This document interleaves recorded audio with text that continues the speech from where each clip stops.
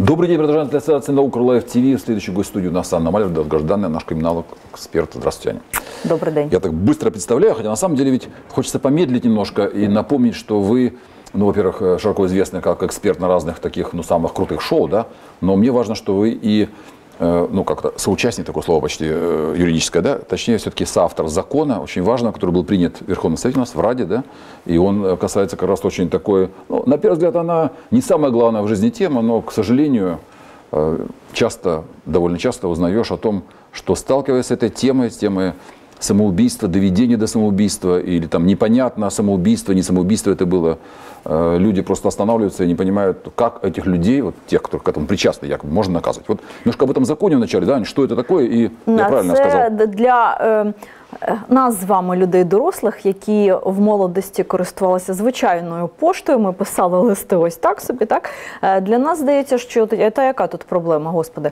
Але насправді проблема пов'язана з поширенням інтернету і соціальних мереж, тому що на сьогодні е, є така нова субкультура, як е, доведення до самогубства. А е, точніше, треба сказати, сприяння вчиненню самогубству через інтернет. І е, найвразливішими сьогодні є молодь, є е, діти, тобто малолітні до 14 років. І є неповнолітні, і я навіть вам розповім найгучніший випадок в Україні, коли жертвами ставали дівчата старші 20 років, тобто вже повнолітні. І людям, які А що це не виросли з інтернетом, нам складно це зрозуміти. Але все почалося ще до груп смерті. Цей синій кит, червона сова, те, що було найгучніше. Все почалося з того, що у Запоріжжі молодий чоловік, який був програмістом, працюючим, успішно він заробляв. У нього була сім'я, дружина, дитина, і дружина очікувала на другу дитинку. І от е, нібито з одного боку все в нього склалося: сім'я, робота, квартира, до речі, з нормальним ремонтом. Він розважався так. Він заходив у групи або на форуми, де знаходяться люди у складному психологічному стані, які хочуть вкоротити собі віку і шукають психологічної допомоги або розради серед таких самих, як вони. Це люди, які втратили близьких, у яких якогось там кохання не відбулось, у яких смертельно хворі родичі або вони самі. Він під фейковим акаунтом, представляючись жінкою з медичною освітою, вишукував таких людей, дівчат молодих, е, віком старше 20 років. І заводив з ними, ну наскільки це можливо, довірительні стосунки через інтернет, повністю супроводжував їх процес суїциду. Він допомагав їм підшукувати засоби. Е, Він радив, що як нібито лікар, що е, може їм допомогти зробити це швидко і безболісно. Більше того, вони цей акт знімали на камеру на ем, в комп'ютері, так і е, відправляли ще. Ну він в онлайні це спостерігав. І з дев'яти жертв одна е, врятувалась, живою залишилась. Це дівчата з різних країн, не лише з України. Я це навмисно підкреслюю, щоб ми розуміли, що небезпека може очікувати в інтернеті з будь-якої країни, і ту людину буде складно притягти до відповідальності, якщо вона десь там, може навіть за океаном. І а, коли ця історія стала відома, а як стала відома? Одна з дівчат, яка загинула, а родичі зрозуміли, що у неї не було підстав як їм здалося е, для суїциду, і вони почали копатися в її комп'ютері і знайшли переписку з цим фейковим аккаунтом. Вони звернулися на телебачення, а журналісти провели журналістське розслідування. Уявіть собі, що навіть поліція Запоріжжя його затримала. Вони вилучили в нього комп'ютер. Там дійсно була вся ця переписка. Там були докази сприяння самогубству от цих дев'ятьох дівчат, і одна з яких вижила. Тобто вісім смертей це на його совісті але його не змогли притягти до відповідальності, тому що норма закону, а стаття 120 Кримінального кодексу доведення до самогубства була застарілою. Вона була ще радянською, коли не було інтернету, і коли все було ну дуже очевидно і просто. А що там було? Що доведення до самогубства може вчинятися у такий спосіб і чітко перераховані способи: Е, шантаж, е, жорстоке поводження з доведеною до самогубства особою, е, примушування її до протиправних дій. Власне, нічого з цього переліченого в законі в діях цього запорізького віршителя суддів не було. І поліція змушена була вчинити по закону і його відпустити. І тоді стало дійсно серйозне питання: давайте змінювати закон.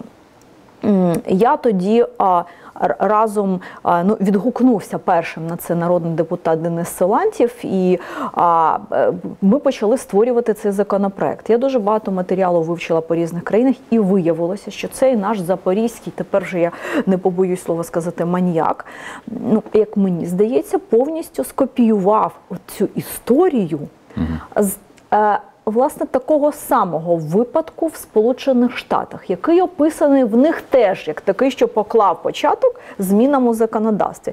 Там теж чоловік, теж він під е, фейковим аккаунтом, теж він представлявся лікарем, так само це всі ці речі вчиняв. Але там все це відбулося раніше, і цей феномен вже вивчали в Америці лікарі. І вони прийшли до висновку, що це такий новий вид е, статевого збочення, коли людина, яка в онлайні спостерігає за чужим суїцидом, уявіть собі, отримує навіть сексуально це своє збочене задоволення. І вже після цього були групи смерті, де зовсім інша причина, зовсім інша природа, але на гачок потрапляли вже неповнолітні діти, у яких е, психіка така дуже хитка, і їх примушували до різних дій, які вели фактично до самогубства, але не підпадали під наш чинний закон. Тому це було надзвичайно актуальне питання, і дуже добре, що депутати бодай у таких речах одностайні. І от у другому читанні цей закон вже прийнятий, і тепер ми зможемо притягати до відповідальності тих людей, які сприяють вчиненню самогубства через інтернет. Анна, тут же возникает сразу вопрос. У меня, как у человека далекого, конечно, может, от вот этих подробностей замечательных и закона, и юриспруденции в целом, но есть же такое понятие, там, э, довести да, до самогубства, то есть спроба довести до самогубства, то есть попытка, вот когда человека к этому склоняют, но не получилось, и тот, может быть, кого склоняли, а может и не склоняли, заявляет на человека, говорит, вот он меня хотел довести до самоубийства. Вот это что же может теперь использовать и как-то этим можно педалировать? Так. А тому Протидія якась е, існує? Е, Я вам скажу, що я бачила переписку, яка була вилучена в комп'ютері от цього хлопця, якого, ну, по суті, на той момент. Так його взяли, в конце концов, не був- сейчас, или он ні, сбежал? Ні, Вот всё, уже він он на сбежал? свободі, тому що І не боїться а, нічого, живе закон там все не має спокійно з жіною? зворотньої дії у часі. Закон А. діє для тих правопорушень, які вчинені після прийняття закону, після набрання ним чинності. Вже То есть он президент так и повинен будет ходить підписати. и жить, Абсолютно. как обычный человек, Абсолютно. да? Але те, що цю ситуацію оприлюднили в ЗМІ, я думаю, що це попередження для дуже багатьох молодих ну, дівчат, бо там всі жертви дівчата були, м, що вони можуть потрапити. Ну, для этого маньяка тоже бы неплохо таку- какие-то меры все-таки. Так, у, у таку паску. Ну, з ним і- я е, підозрюю, що він міг покинути вже територію України, тому що а, ну, було оприлюднено його обличчя, там багато сім'я його була оприлюднена, дружина, тобто дуже багато ознак, за якими Діточки теж є у йому нього, би так? тут було м, неспокійно і некомфортно, навіть враховуючи, що він не притягнутий до кримінальної відповідальності, бо родичі жертв, яких він довів, е, вони ж побачили ці, ці всі речі. І а, я розумію, про що ви говорите, чи не будуть притягнуті до відповідальності попитка. люди, які нібито це і не робили. Але а, йдеться про процес е, доведення під час розслідування, да, до- довести провину людини. І тут не буде йтися про, ну, приміром, слухай, мені так е, е, надоїли наші стосунки. От цю фразу не будуть сприймати як доведення до самогубства. Доведення до самогубства або сприяння це абсолютно конкретні речі. Коли людині прямим текстом говорять, якщо ти хочеш коротити собі віку, значить, е, ну приміром, Зробити потрібно те, те, те. використати це, а не це. Потрібно зробити отак, а не отак. Потрібно обрати такий час, а не такий. Є безпосередньо такі практичні Так, так. рекомендації. І це відрізнити від е, просто ти мені набрид, е, да, це дуже просто відрізнити. А потім ви не забувайте, що е, сприяння самогубству це е, речі довготриваючі. Для цього потрібен час. Це тривале спілкування, це не одна розмова, безумовно. Да? Це певний психологічний ну, обробка людини. Да? І е, якщо вже відкрита переписка, якщо прослуховувались там дзвінки, приміром, то це буде очевидно для доведення. Але ж, на жаль, інші обставини можуть довести до Просто жизнь в этом государстве, в этом обществе для людей это невыносимо. Вспоминается, кстати, Марингов, замечательная его книга «Без вранья», э, и там он в своих, понятно, друзьях, о Есенине, но где-то в дневниках, кажется, у него есть, у него покончил с собой сын, там, в возрасте, по-моему, 16-17 лет, ну, можно списывать на какую-то сталинщину, но речь о другом. И он прямо пишет, вот, читайте дневники своих детей. В этом смысле, конечно, ну, родители должны интересоваться, что ж там за переписка да, в этих компьютерах, ну, как такой совет наш э, А, родителям и абсолютно молодым родителям. Вірно. А, Більше того, я би радила батькам а, самим набиратися технічних знань, користуватися тими ж соцмережами, які користуються ваші діти. І запам'ятайте, ви не зможете їм просто взяти і заборонити це зробити. Ну тобто, стримати прогрес неможливо. А, тому просто потрібно прийняти як данину що діти ваші будуть користуватися соцмережами, гаджетами, інтернетом, а вчити їх безпеці. І самим освоювати оці нові способи спілкування для того, щоб ви могли дійсно е, ну або контролювати дитину, або взагалі розуміти її світогляд. Тому що для дорослих дійсно складно зрозуміти, як це через інтернет можна Бог зна кому повірити. Ви не бачили ні його документів, ні його там е, справжнього обличчя, бо людина під аватаркою там чи ще да, дорослій людині це складно зрозуміти. А діти вони шукають або людина у складному психологічному стані, вона навпаки. Шукає підтримку незнайомої людини, тому що незнайомій людині сповідатися е, простіше. Але щоб ми не завершували от саме цю розмову на якійсь е, негативній ноті, я хочу сказати, що в Україні є і гарні новини з цього приводу. А всі всі держави в світі поділяються по е, небезпеці суїцидів е, на три категорії. Раніше Україна належала до категорії країн з найвищим ступенем небезпеки. У нас дійсно було дуже велика кількість суїцидів, там до 10 тисяч на рік. Але зараз нас переключили вже в другу категорію, і ми належимо до країн з середнім рівнем небезпеки А тобто в Україні зменшується кількість суїцидів, але щоб глядачі зразу розуміли, не в абсолютній кількості, а це розраховується на душу населення. То есть, э, я так понимаю, что это стало, ну, первое, что приходит в голову, э, дорого даже этим заниматься стало. То есть, жизнь стала настолько А, скромной у нас, что... Ну е, я можу сказати мовою Міжнародної організації охорони здоров'я, яка щороку такі звіти дає по всьому світу.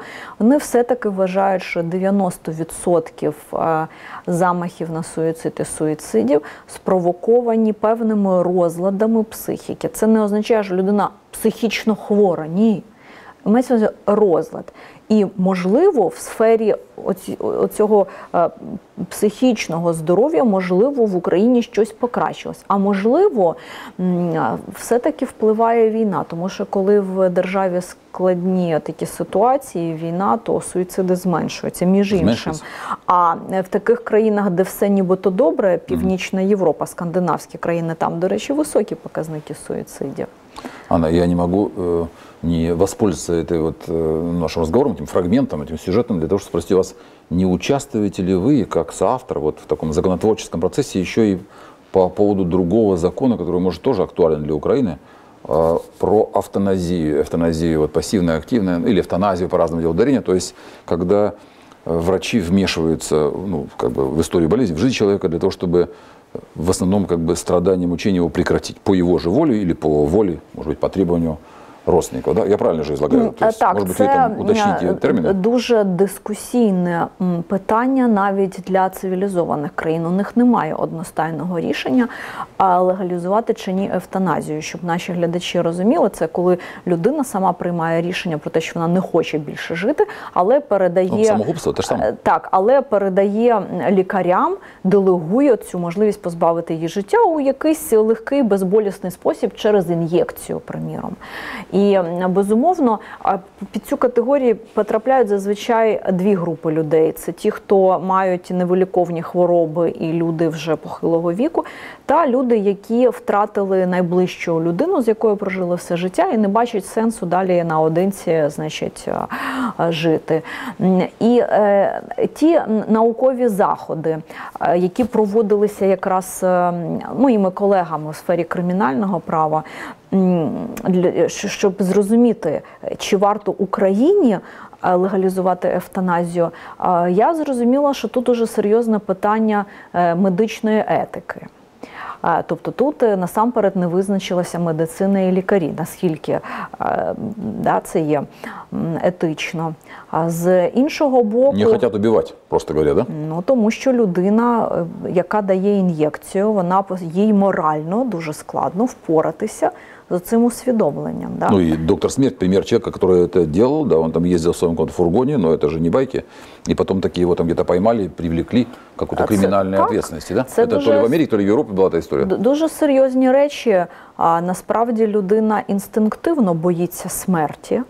І більшість вчинків в нашому житті продиктовані цим страхом і тим, що ми себе переконуємо, що це не страшно. Але це страшно, особливо якщо це не ти, а твій близький, да, і ти, і ти вимушений жити і знати, що цієї людини нема. Це страшно. Ну и тем более, когда ты должен принимать решение или даже принять Так. э, как бы І тому ті, хто действии. можуть перейти цей поріг і позбавити іншу людину життя, цих людей вкрай мало в суспільстві. Вкрай мало. І тут можна перейти до іншого складного питання, що навіть люди, які йдуть на війну, вони більшість з них не можуть.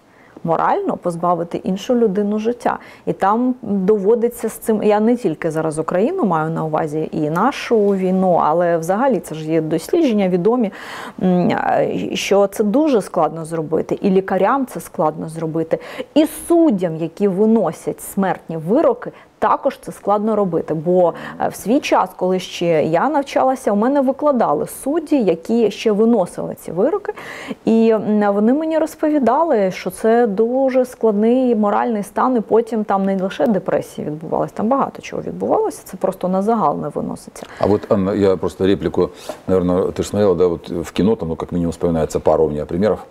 Э, Просто должны следить какие-то люди за вынесением приговора, за приведением его в исполнение. То есть, если раньше, там, ну, в эти страшные времена Средневековья на площадях, это было зрелище, не было там, может быть, э, более там, волнующего зрелища, чем какая-то публичная казнь, да, или там порка до сих пор существует кое-где, то сейчас э, в тех, ну, там, скажем, штатах американских или тех странах, где осталась смертная казнь, за приведением в исполнение приговора должны какие-то люди наблюдать. Я вот думаю, для них это что же ну, такое переживание? А Це дуже е, складний, це стрес, це депресія. Так навіщо э, этих э, там людей вообще туда усаживать, смотреть? То есть это просто законодательство так описывает, да, что вот в законе А, там є в ты, ты, кожній ты, ты, кто державі- вынес приговор, должен сидеть смотреть на то, как это будет. Це, це є процедура від- відповідна. Вона прописується законом. Вона не буває ідеальною і не буває м, е, якоюсь оптимальною. Кожна держава шукає свої шляхи, як це все реалізовувати.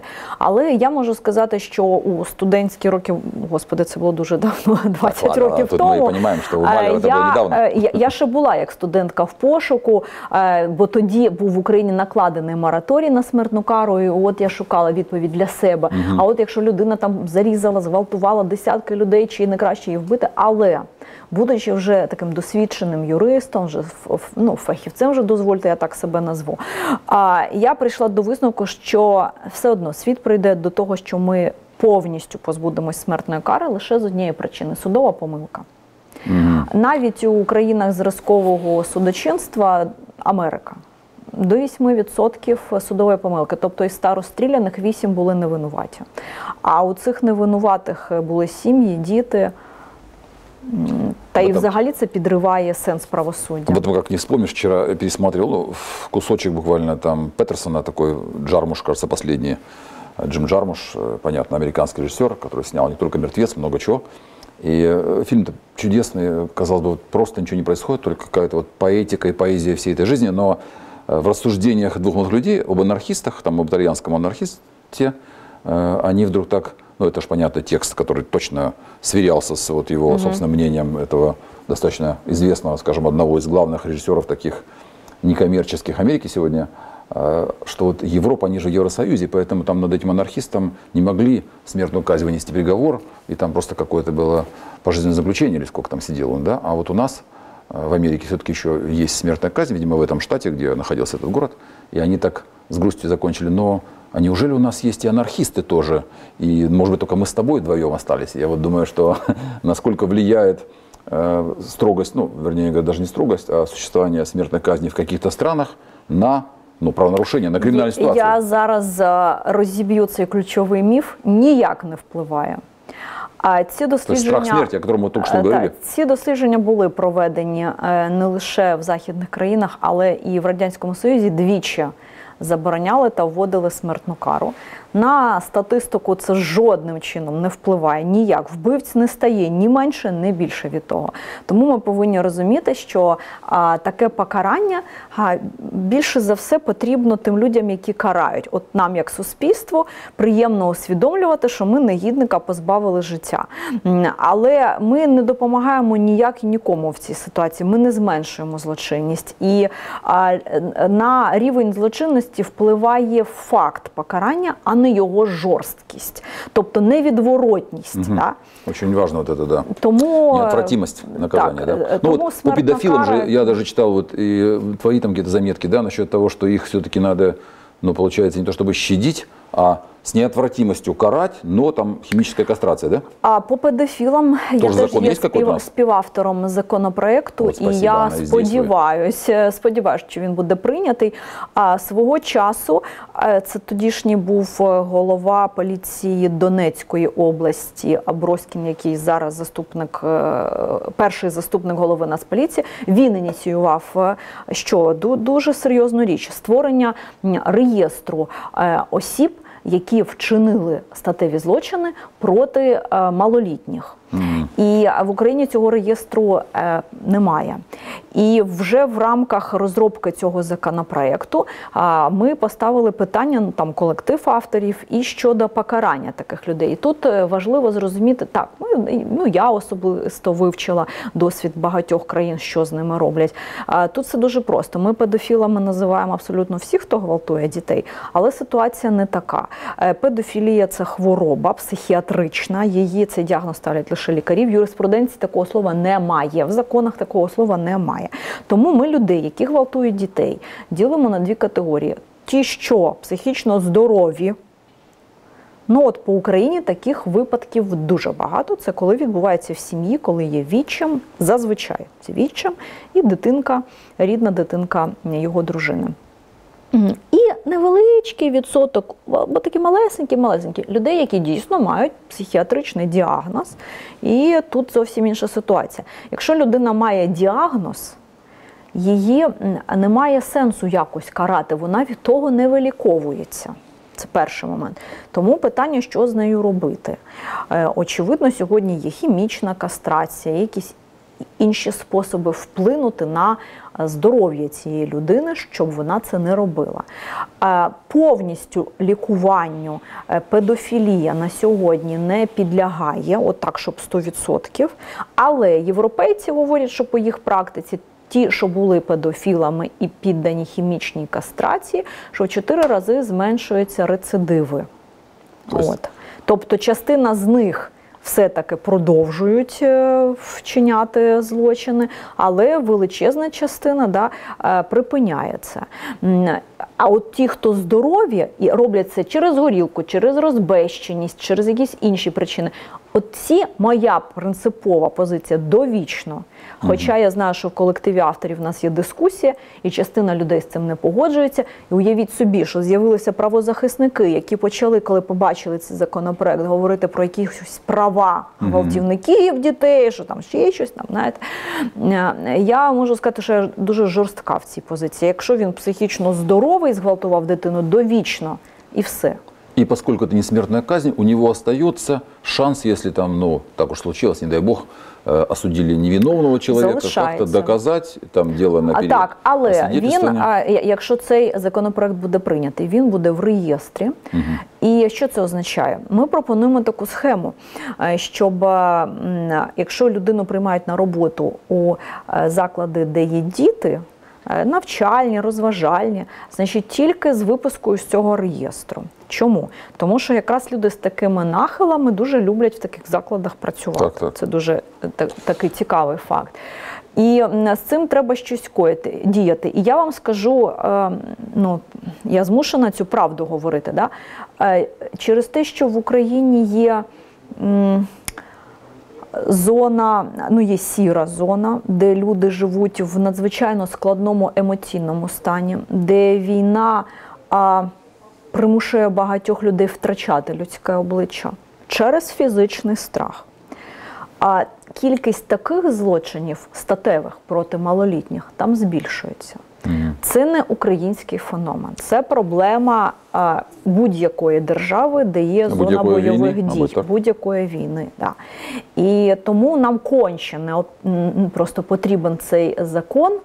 І Я сподіваюся, що депутати за оцими своїми політичними баталіями і цими кампаніями, які вже почались передвиборчі, все таки згадають про жертв, про дітей і приймуть цей законопроект.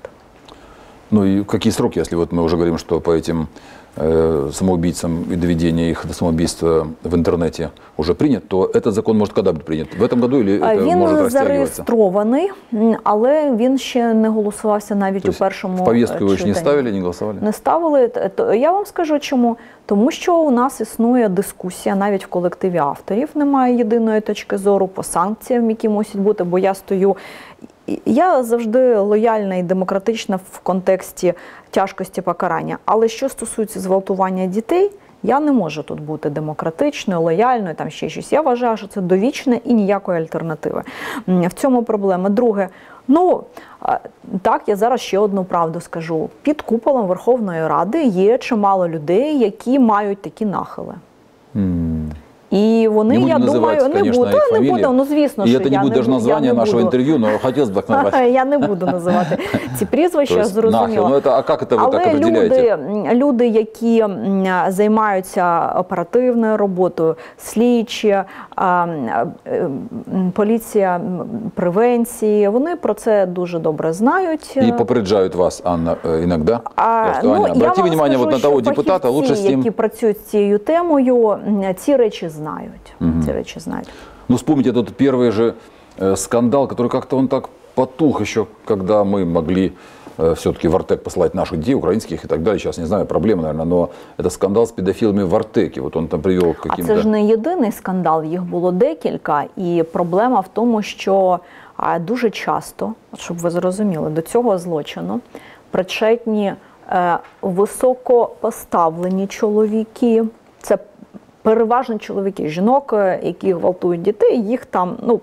Менше відсотку, тому ми не будемо зараз це обговорювати. Чоловіки, це чоловіки. інтелектуали, це багаті чоловіки, як, які е, користуються послугами і їм підбирають відповідних дітей. Це не просто так. І може бути таке, я припускаю, що буде певна група е, депутатів в парламенті під якимось іншим приводом гальмувати такий законопроект. Бо е, в цей реєстр можуть потрапити і відомі люди. Последний вопрос по этому э, пункту и по этому закону. Э, Ваше мнение просто важно здесь как фахивца, Анна.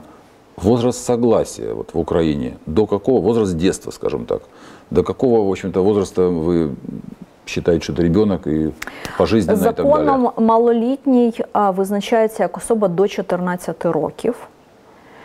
А, а далі м, все залежить від результатів е, судово-медичної експертизи, бо хтось досягає раніше статевої зрілості, хтось пізніше. Але до 14 років це абсолютне табу нашого закону на статеву недоторканність особи. И вы наполегаете на том, что если произошел какой-то вот половой Довечно. контакт с 14-летней э, девушкой, скажем так, да, то этого человека э, можно и нужно даже засадить на Та пожизненно. я вам скажу, Даже що... если она была там его, ну, как бы, я не знаю, уже там в 14 лет, мне кажется, что, ну, есть какая-то категория э, девочек, А, девушек, ну, которые уже дивіться. влюбляются, там, Ромео, Джульетта, вспомним так, на всякий случай. Дивіться, Я ну, уж молчу про страны, где просто эти жены э, в 13-12 вообще детей там берут э, мужчины. тут є дві категорії справ. Но я ни в е, коем случае, конечно, не оправдываю да. здесь, не стою вот Я на... е, розповідаю це, тому що я спілкувалась із жертвами, і на- з гвалтівниками. І для мене тут є дві категорії справ. Це коли малесенька дитинка, така там десь до 6 років, Ну, да, ясно, що этом ми не говоримо взагалі, там. Так. І е, ну, це абсолютне звірство, і це відбувається.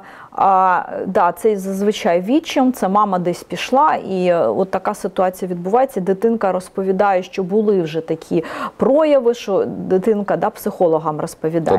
І мами вже- це приховують. Це одна історія. А є те, що ви говорите, коли пубертатний період починається, і найгучніший такий випадок в Україні, який трапився, це коли відчим повертається з тюрми вдома 13-річна падчерка. Він на зло своїй дружині вступає з нею статевий контакт, і ви знаєте, в них вже п'ятеро дітей. П'ятеро? П'ятеро. Тобто Е, П'ята дитинка живуть? дитинка померла. Але четверо діточок вони виховують. Йому там щось за 50, їй, е, ну якщо вона там в 14 Уже почала народжувати, то скільки там 19 десь, да, от такий вік. П'ять дітей вона кожен рік народжує. І вони живуть, до речі, в шлюбі. Він сидів е, в в'язниці за дуже тяжкий дуже тяжкий злочин. Він гвалтував свою попередню падчерку. Він з нею зробив інваліда. Він зробив інваліда з попередньої дружини. Але от таке да, відбувається. А зрозуміло, ми можемо сказати, ні, ну вона ж у 13 років вже була розвинута. Це ніяким чином не зменшує його провину. В таких ситуаціях теж повинна бути найжорстокіше застосований закон. Ну, этот человек нормально себя чувствует, он живет там где-то, да? И все Ну, хорошо? він живе, але ми не знаємо, що буде з цією дівчиною, з цими чотирма дітьми. Почекайте. І в цій ситуації я би притягала до відповідальності всі соцслужби, які це прогавили. Так, так. Її маму, яка не виконала батьківські обов'язки, тому що це ненормально. І розповідати, як він на всю країну розповідав, що вона була така приваблива. Ні, іди на зону, і там тобі буде привабливо у вікні. Я, извините, так. Э, Просто мы проскочили. Э, Если очень коротко, Ань, к сожалению, сегодня у нас вот есть возможность э, Укрлайфа, я рекламирую просто проводить онлайн-трансляции. Мы ведем, из любой точки есть интернет, просто прямую трансляцию, многокамерную съемку с монтажом и так далее. Поэтому интервью в студии – это не все, что мы можем делать. И я надеюсь, что вы придете к нам еще раз, мы продолжим разговор и на эту тему интереснейшую. Я напоминаю, что все-таки этот закон мы приняли один, да, о втором мы поговорили, но вот мы пропустили все же по поводу эвтаназии. Эвтаназии что-то движется в государстве или нет даже таких э, эскизов закона, так если коротко. Е, ні- Ні, я думаю, що найближчим часом в Україні це питання не буде актуалізоване. Не буде. Ну и тогда э, прощаюсь и еще раз поблагодарив. Если можно, вот тоже коротко, мне было очень важно бы ваше мнение здесь э, знать, Анна. Насколько для вас вот эта вот мера закона, уж там про мораль я не говорю, э, соблюдена в двух наших главных каких-то массовых, ну, заметных э, явлениях общественных и, может быть, течениях, когда свобода, так сказать, собраний приводит к тому, что есть вот митинги Михо Саакашвили, да, какие-то, и есть некоторые марши, о которых все уже тут говорили, только ленивый не говорил, которые тоже э, выглядят как вполне законное мероприятие, но почему-то людей не только в сетях, но и на улицах, так сказать, пугают. Вот если первые пока не пугают, то вторые немножко пугают, и что это пиар политический или что. И есть ли здесь, ну вот то, э, к чему бы вы как криминолог уже, как эксперт, имели бы вопрос. Если есть, то вот один вопрос, и мы, к сожалению, сегодня закончим. А все дуже просто в Україні дійсно є свобода е, мирних зібрань, і люди можуть, уявіть собі, виходити маршем по 600 осіб, чи там ще по скількись, формуватись у квадратики, у кружечки, марширувати, там ну що завгодно робити, е, ходити без одягу, е, присягати на вірність мамоні чи ще комусь. Це не має значення. Закон все це не забороняє, якщо вони цим не порушують права інших людей, та права і свободи інших людей. Але якщо ці люди там в однострої, які прийняли якусь присягу, е, говорять нам, що вони виконують якісь з правоохоронних функцій, приміром, охороняють громадський порядок.